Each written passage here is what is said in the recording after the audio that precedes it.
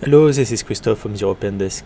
Let's have a look to the US dollar versus the Canadian dollar, which remains capped by a declining trend line in place since last Thursday and by the declining 50 period moving average here in blue.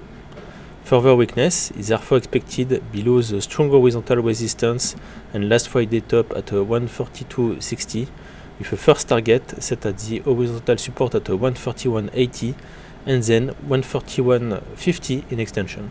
Thank you for watching this video. Have a good day.